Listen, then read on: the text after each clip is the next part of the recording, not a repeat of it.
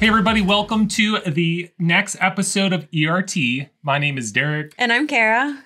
and today we're going to talk about the topic that we've always been saying that we were going to talk about, and we never have. I think this has probably been going on for a good two years now. I think this has been going on longer than And we're going to talk about child swapping, parent swapping, rider switch, rider swap, whatever the heck you want to call it. All of those things. Yeah. It's all the same thing. And we're going to kind of break it down. We're going to talk about what it is, what you how you benefit from it, and then kind of explain maybe some of the major park chains and how they are different because you will discover if you use it, it is different at a lot of properties. So I was saying, if you think you know what it is, you might not, yeah. So depending on where you go. what is it? What is it? Okay, so so parent swapping is let's say there's Derek and I, and we go to an amusement park and we want to ride a big ride, and yet we have small children who are not tall enough or brave enough to ride the big ride. And so one parent will wait through the regular queue and ride the ride. And then when they get off, they will switch places with the second parent who will then usually go up the exit and then get on the ride so they don't have to wait through the queue a second time. So let's discuss the different chains and how this policy functions across. Uh, I mean, because they're all different. Everything and you'll learn that even in some some of the park chains a lot of their parks have different policies which can make it a little bit more confusing right the different parks within the same chain. You would think that like a Six Flags park would be the same from Six Flags to Six Flags or SeaWorld. They're they're not. yeah yes. The seaworld park chain is different. Cedar fair is different. And i mean as far as i'm aware six flags is pretty constant but let's jump into the most basic one that i think the I, very basic everybody go, might go to would be a disney park I think did Disney start? Is this like a Disney thing? Did I Disney quite start? possibly. I was gonna look that up and I first one. forgot. Yeah, I, I'm not 100, percent but it feels like it might have been something that I started mean, at Dis- Disney. Disney was the first place that I was introduced to it because I remember my parents parent swapping with us when we were little kids at Disney yeah. and Universal too. Disney and Universal both. well, I was going to say I've never experienced that Universal. You've done Universal. My parents have. Do you remember what that was like? Because I have no idea. So we I apologize. We don't really have much on the Universal, but Disney nonetheless. yeah, I was gonna say we're it's called Rider Disney. Switch. First thing, and how that one works, I think is the most convenient in the sense of it's very easy on the steps that you need to do. and it's very efficient. You just simply walk up to the right att- the queue attendant. So the person that's standing right there at the front of the entrance, there's always an employee there, and you tell them that you need to do rider switch. Uh, what they will do is they will uh, scan the pass for the rider that is going to go on the second time, and anybody in that party. I think they allow up to six people to join that person uh, that second time around. So, as for an example, when we were at Disney let's say Leander didn't want to ride the roller coaster, but Le- uh, Braylon did. So me and Braylon could go ride the roller coaster first, get off, and then Braylon could ride the second time with Kara. And so that's how that that whole idea Right, and they scan your either your pass or your magic band, and that loads like a lightning lane onto your magic band. So then you just go up the lightning lane. Yes. So at Disney, you technically have to wait in the line, quote unquote, twice. But so the first person, the first group that goes in, they will go through the normal line, unless you're using your lightning lane. Like if you already like have the fast pass, you can do the rider switch along with that too. So the first group would go up the lightning lane, and then the second group would go up the lightning lane. But if you're doing the regular, the first group would go up the regular line, and then once you get off, the second group gets to go up the lightning lane. So there is a little bit of a wait, but it's not much. It's not much. But it's very simple. You know what you do because there's certain parks you go to. It as you'll as we'll get to it, it get very chaotic. I would say the nice thing about Disney is at most, I would say all of the major attractions, it is very clearly marked where you go in order to do the rider switch. yeah, they there's have usually like a write off that has like a sign on them or something. say yeah, they have like a person and they have like a table and they have a sign that says like rider switch here. And cast so member. I'm sorry, cast member. cast yeah, how dare you? Disney. How dare you? Um, and so it's very, very easy and it's it's very clear where you go and what you do. So speaking of not clear, let's talk about Cedar Fair. Because every single one of their parks is different. And actually, some of the rides inside the park have different policies than the other rides. So Looking at your Cedar Point. yeah, Cedar Point is the worst. Cedar Point has like 15,000 different rules for every ride. For every ride. But so by and large, Cedar Fair, you will need to go to the uh, guest services once you enter the park, and you're going to get a parent swap card. It's just a piece of paper that has a list of all the roller coasters or ride attractions. You just simply are going to put your name on the top and the, how many people are in your group. That's really all, all you do Mhm. with that. And you need that card when you go to the to the rides to initiate the rider swap. So let's start with Kings Island. Oh, so let's just say like in Kings general. Island, I think, is the most efficient because the rules are across the board are the same at Kings Island. You go to the park, you go, you don't go to guest services at Kings Island. So now we're already getting confused. You go over to the the section where you check your the height. I don't remember what it's called. It's just like There's uh, like a little booth off to the left as soon as you walk into the park, and they will check kids' heights and give them wristbands for like 46 inches or 48 inches. So yeah, instead of going, uh, you can still get that if you really want to, but you're going to go up there and say that you you're going to be doing parent swap, and they'll give you the card. It's a piece of paper. It's not really a card. Yeah, so they'll give you the piece of paper, and then so what you're going to do is you're going to go to whatever roller coaster doesn't really matter. Your first group is going to go in the traditional line. Your second group doesn't have to wait at the exit, but depending if you can take your cell phone, which I think pretty much every single roller coaster at Kings Island, you can have your cell phone on you as long as you have it like secured. Anyways, yeah, the first trail. group will go, like, for example, Orion. I will go on because as of this last year, only me and Kara can ride that roller coaster. So I would go through the queue.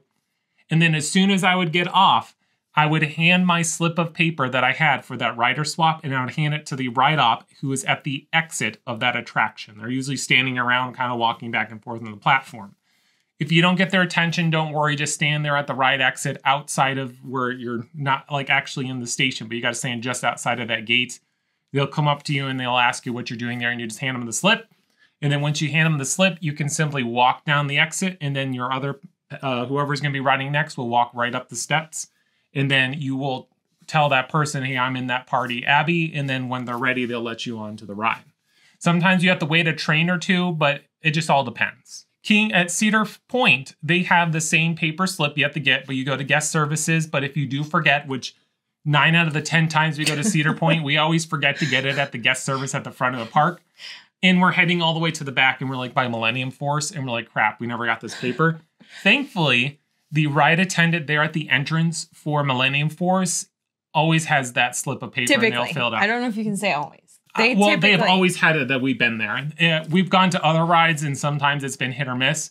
The Millennium Force staff always have; they're always prepared. They always have the material. So, if you do forget it, I'm gonna bet that they'll have it there.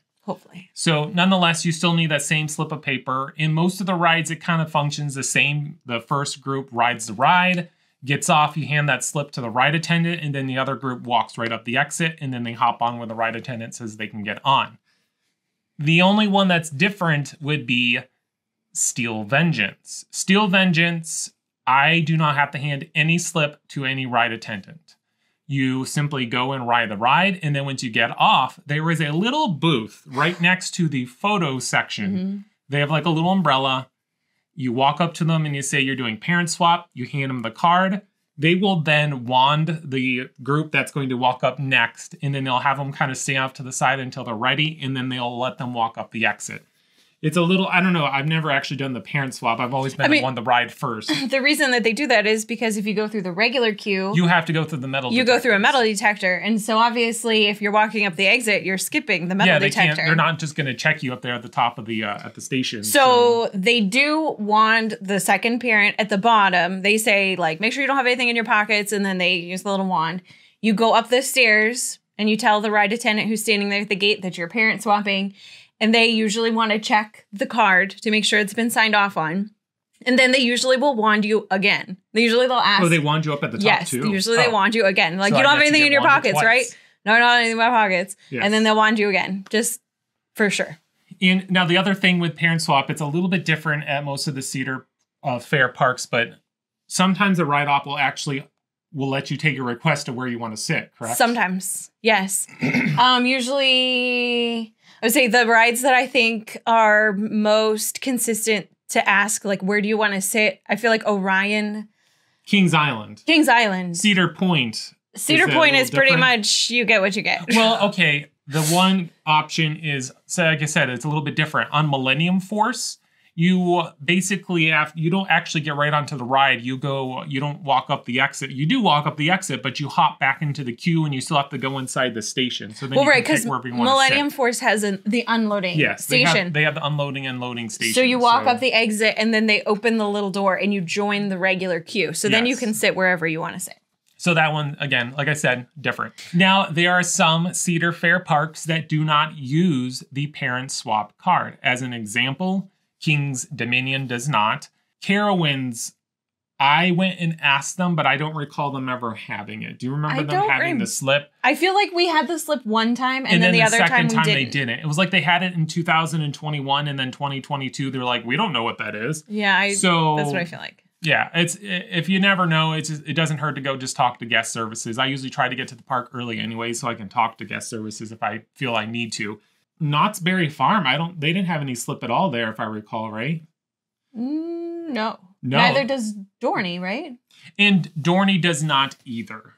So, like I said, I So then in that in those situations where you don't actually have the paper, it's just kind of like a free for all. You just Usually Derek will tell the ride attendant when he's getting off that he is going to be swapping. Yep. Just to kind of let them know, heads up, somebody's going to be walking up the exit, and then I have to walk up the exit and I have to flag somebody down. Now, it has gotten a lot better. We started parent swapping back in 2017. And that first year, I felt like it was complete chaos. Uh, you would have a write off that say, "Oh yeah, we'll do the parent swap," and then that write off goes on like break or something in the middle of it, and then the other person was like, "I don't know who you are." But after that, it's been. I think it's actually been pretty smooth. Most of the staff know what's going on. They understand the rules, but nonetheless, it's been pretty smooth. I would say the ride ops seem to actually know and be aware of what parent swapping is. Like when we first started doing it, we felt like we had to explain to the ride ops Yes. what we were doing. You're doing what? Parent swapping? What Yeah. the heck is that? Why do you think you can just walk up the exit and get on this ride? Now it seems to be going a lot better. Yeah. So let's jump over to what actually is my favorite when it comes to the parent swap is the Busch Gardens SeaWorld chain. So let's start off at because again, each park is different. Every single SeaWorld Orlando, Busch Gardens Tampa, and Busch Gardens Williamsburg all have different process of how they do the parent swap. My least favorite is Williamsburg, but we'll get that. Let's start off with Orlando. Orlando is, I think, is the simplest if you know what you're doing. You, all you know you do is you walk through the normal ride. You're just whoever's going to ride the roller coaster first, or just simply, simply get into the line. You don't have to talk to anybody. Once you get off the ride, you just simply go and ask the ride staff right there. Say, "Can I have a parent swap card?" And they will hand you a skip the line that actually says parent swap on it, and then the other group can just walk right up the skip the line. And mm-hmm. I think the same thing. I think it allows up to six people in the party, but again, it's always just us four. So it's usually if anything, it's you know Karen Braylon or Yeah. me and Braylon, something like that. Yeah. But nonetheless, it's very simple. And the nice thing because it's the card, you don't have to worry about like, oh, I'm waiting in the exit. I got to get up there right away. No, you can go back on that ride whenever you want to. In fact, we've done that. Like I rode, I think it was Surf Coaster, and it's we had to go somewhere else because like the kids needed food or something. We didn't come back to the ride for like three hours. We still had the parent swap. She just walked right on. So SeaWorld Orlando, fantastic. Busch Gardens Tampa, even better when it works. when it works. The, well, the first year I feel Oh like that was a hiccup, and we'll, we'll get to that. But uh, since that, it's actually been very good. So at Busch Gardens Tampa, nobody waits in the normal queue. Everybody goes up the skip the line. So how it works is you let's say you walk up to Iron Gwazi and it says that there was a 45 minute wait. They will hand you, you're going to talk to the ride op right there at the entrance of the ride, tell them that you need to do parent swap. They will give you a card that will say, come back in 45 minutes or anytime after. So when you come back, the first group will walk right up the the quick queue. And then once they get off, your second group will walk right up the quick queue. And you like I said, you have the card. The ride off will check it the first time and then they'll check it again. Most of the time they even if they mess it up, they don't really seem to care. It usually works pretty good. So, yes, both parties do not have to wait in line. And I think it's amazing because there are some times where, like I said, 45 minutes, we both don't have to wait in line means that we can go take the kids and go do something with them together. Mhm. We can go either ride a ride or we can go get some food or whatnot. And then we just come back and we ride the roller coaster. Fantastic. That is hands down, Busch Gardens Tampa is my favorite parent swap across the whole board. when it However, works. When it works. the first year that we went, they had it was if the ride queue was shorter than 30 minutes, they didn't honor the quick queue. They said everybody had to just go through the normal line. Well, the problem was I think it was Montu. it was Montu. and the wait was like 25 minutes, which I mean it's a little petty, but nonetheless, I could wait through the line. We just didn't really have the time for Kara to wait in the line because it was a very hot day. It was like in the 90s. Kids are grumpy. Obviously, this is 2021. People were still wearing masks. So it just made it even kind of more miserable.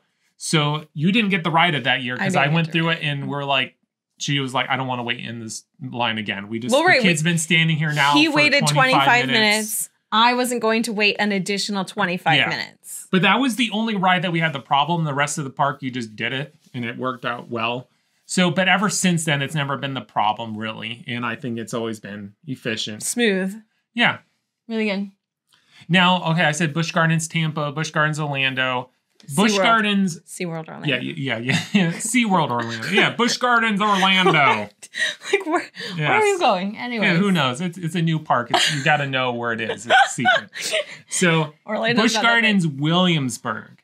They are different than the others. So that one, you don't have to talk to any ride op other than the, the first group. They just walk through the queue, and when they get off, you don't have to communicate to any staff.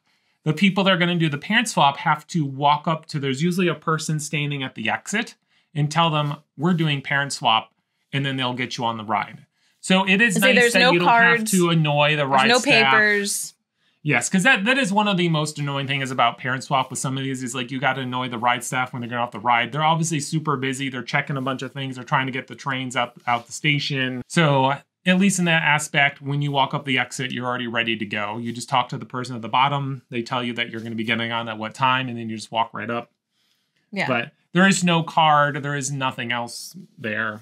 But so in that sense, it's uh, you don't have to really worry about it. But I, I don't know if you could just come back. I, I think they have to see me get off the ride first, if I recall, and then they'll let you go up after they saw that I was off the ride. As versus like Orlando, they just have you a card and like just come back whenever you want to come back. well, So- right, and hand them the you card. do kind of have to at Busch Gardens Williamsburg. Those who are waiting kind of have to stay around the area, getting ready to get on the ride. You can't. So if it's like a forty-five minute line, you might be able to get away and do something and come back, but you might miss them. So it gets a little challenging. There is there is a little there is an art to it of making sure you're communicating with each other how far they're going. The line. Usually, what I'll do is I'll text Kara when I'm like. Hey, it's I, it looks like I'm about three trains away from getting on something right. like that. Yeah. So then that way we at least have a heads up. And let's move on to my least favorite. Not to say because they're my least favorite properties, because I really enjoy these two parks, but they were my least favorite when it came to their policies, how it functioned, because it was just felt awkward. And that's going to be Dollywood and Silver Dollar City. Which doesn't make any sense because I feel like Dollywood They're and such a Silver Dollar- family park. Yeah, they're family parks. So I feel like parent swapping here should be so easy. So and it's every ride has a slightly different version of Mhm. it. There is no, you don't have to get any parent swap card or anything anywhere. All you do is you walk up to every ride is different, but you got to talk to the ride attendant at the entrance of the ride to find out what exactly you got to do. So, for example, their new roller coaster, Big Bear Mountain, if you're going to do a parent swap, everybody must go through that queue. If you have an infant, together. to 95 year old grandma or whatever, everybody has to walk through that queue. Mhm. So Lander wasn't going to ride, so he had to wait for the whole queue. Thankfully, it wasn't that long of a wait. Yeah, we moved But- pretty good. Yeah, once you get up into the station, and this is where it got really awkward, is you're Very both there. Is weird. the first party got on, and then they got off, and then the second party we had to like toss Lander across, and then they could, then Kara and Braylon could ride. So they did let Braylon ride twice, which was nice. At Dollywood, Dollywood, We'll get to Silver Dollar City in at. Dollywood, they will let a partner ride with the swapping parent. Yes. The only stipulation is you cannot ride back to back trains. Yes, you have to. What was it? One train. You have to wait something? one train in between, which, which, again was, made it even more weird on Big Bear Mountain because they're you're literally standing in the in the the queue there Yeah. for the ro- row. So they got to let somebody else kind of come in and get in front of you and get on. It, was- it like I said, it was just really messy. It's up to the ride up to remember that they need to put somebody Yes. in the queue in front of you. So literally, we stood there, nobody was there, and they sent the train with an empty row because we couldn't ride it twice in a row. And we were like, this is so dumb. It Let's put really us on and let us ride and get us out of here. But whatever. Now the other rides, which well, I say there were really other. We rode a couple other coasters that we did the parent swap. We only did it on Wild Eagle Mhm. and Lightning Rod. Wild Eagle, you everybody walks into the queue, but those who are going to wait, they have a parent waiting section. It's just like it's it's underneath the station. It's in the shade, and there's benches, and you can just sit there. And there's enough space that your kid can even run around or whatnot. There, Limit. Lightning Rod is the same way. in Lightning Rod was the same exact way. They have a, a spot where you can sit down. They have a bench, and you just kind of the kids can sort of just hang out there. It's it's not Mhm. as it's not as open as It's not as roomy, Wild. Yeah, but it's yeah. just more of a bench there. But nonetheless, it's the same process of what it does. So all of you wait in the queue until you get to that spot, and then the one group waits. And then when you get off, you have to work your way down. There's a little when you get off the ride, there's usually a pathway that says this way to the parent swap or something. On Wild Eagle, there's one, and you just walk right up, and then the other group just walks right into the queue. So not as convenient. Again, it's really not about. I don't want to say convenience. It's more about the confusion is where I think it just kind of gets into play. Mhm. Because then the rest of the rides, like we didn't have to do it on Thunderhead because it was practically a walk on anyways. But Yeah. yeah. the one that I just thought was weird was Big Bear Mountain. Now, Silver Dollar City. Oh my goodness, that was confusing. And again, I just want to follow the rules. I'm going to be a rule follower. I'm here to respect the park and everything that's going on.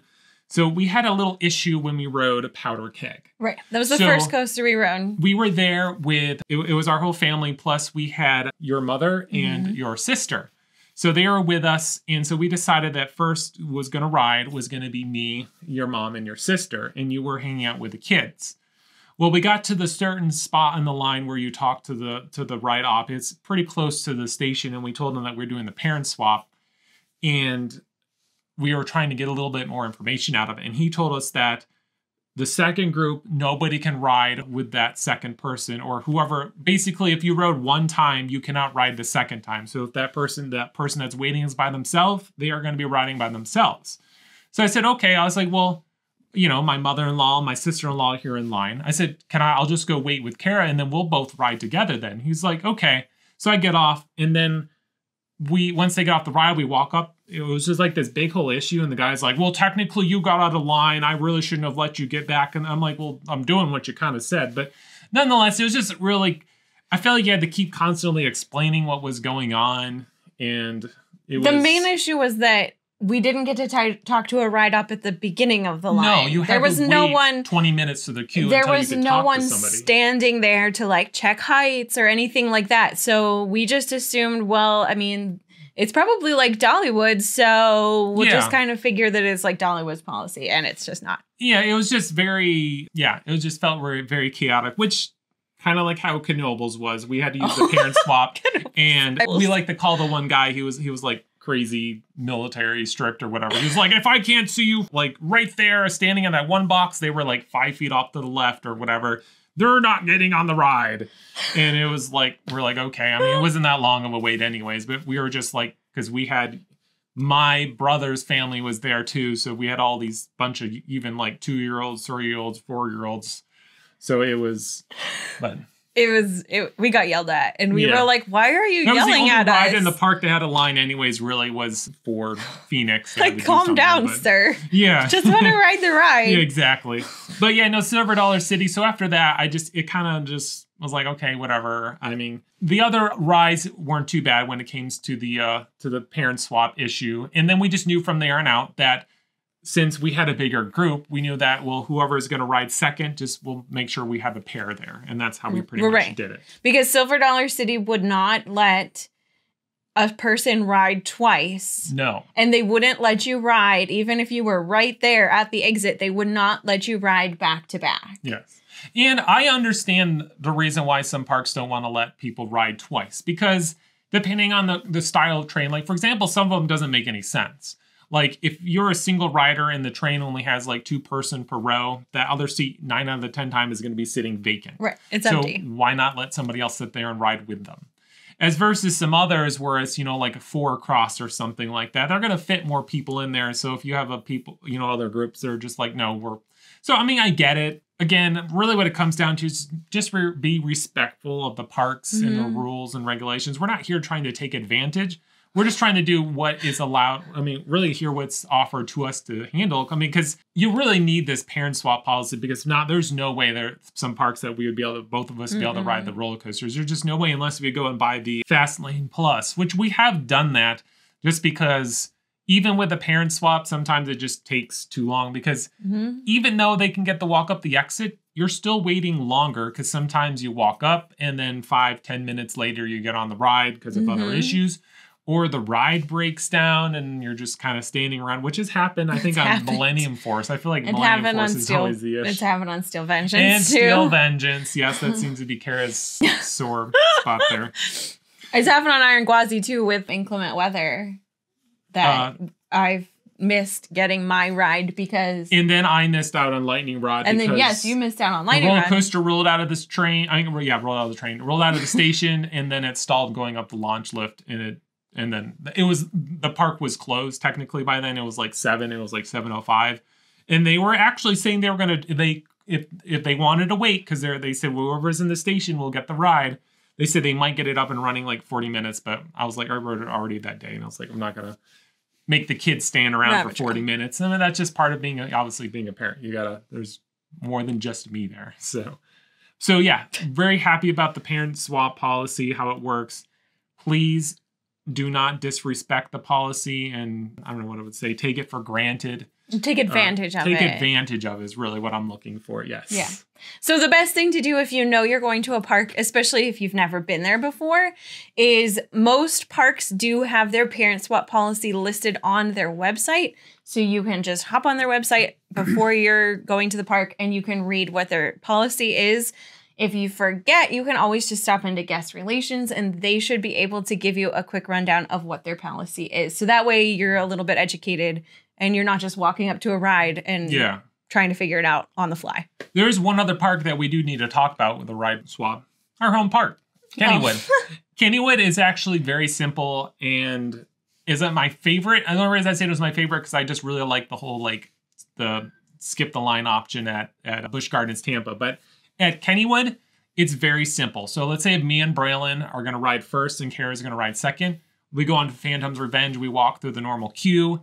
I will hop off the ride and Braylon can just sit right there in the seat. The ride op even knows because you've already talked to them. The ride the ride ops there at Kennywood are very friendly. I just hop off, I walk right to the exit, and Kara walks right up and then the same train, and you roll right out of the station. Pretty much. And that's that's on every single one of the roller coasters there. Like usually, if Braylon is going to ride twice, she never even has to get out of her seat. She just stays. Yep. So yeah, Which gets Very simple there. slightly awkward when there are people like obviously waiting for that row. And they it's usually like they "Oh, usually will tell people like, hey, there's rider swap happening right now, but which is why I say don't take advantage of the system. Don't be like, oh yeah, we got kids over here. We're trying to figure out a way to skip the line. That's not what it's meant for. It's meant for those who you have kids or whatever. You just can't wait in the line the whole time. So be respectful. Well, you don't want to wait through the line twice. You don't want to wait for the line twice. That's yes. One other thing I have noticed this year, it just something to kind of be aware of. I, I don't know what it was, but especially at Cedar Point this past year, I, there was a lot of people that had like the medical cards. Oh yes. and like I said, you go up the same line, and I'm not here to judge anybody. I, I truly, honestly, if if you are allowed to do whatever you can do, great. Same thing as I'll say about the parent swap policy. Do not just try to take advantage, trying to think that you you know you you beat the system and got your own like fast lane plus or something. It's not what it's there for. It's there for the people that truly need it. And because I will be honest, when we were standing there by Steel Vengeance, there were people that were truly taking advantage of the situation. So Well, right. The the line, okay, so it's Steel Vengeance. You have the little station that you Yeah, have to walk there. up to at the base of the exit. And there should never be a line there. There was like a 15 minute line there just and to talk. the to line went way down the path and it was like there should not be a line here this is just for people doing parent swap and the random medical card people Yeah, yeah. why are there a hundred people in line for this yeah, this it is was like kind of everybody crazy was trying to find a way to, to work the system there, and it's disappointing nonetheless. But I didn't. I mean, maybe we just Cedar maybe Point. every single person who had the medical card thing was Just had- all together, and we just time, all walked up to Steve. I, I think some of them were parent swaps too. I wasn't really sure, but I don't know if like I guess we're talking about too. I don't know. Has there been a secret reel or short or TikTok video that rolled around here recently? We're talking about how you can skip the line just tell them that your parents swapping or something. I I don't know. mean, maybe. Please be respectful. We've talked to a lot of people who have children and go to parks and have no it. clue what parent Don't swapping is. exists. Have Yeah. no idea. And we've been like, wait, how do you you go to parks and you just skip riding rides? And they're like, well, yeah, because I don't want to wait through another hour long line after he does. And I'm like, oh my goodness, let me explain to you the beauty of the parent swap. yeah, You can ride too. but We can mention we can mention that even though we have never parent swapped at Universal, okay. because yes. when we went to Universal, we left our children at home. I'm assuming it works very similar to Disney. I I believe it works very similar to Disney, and Universal does have rooms.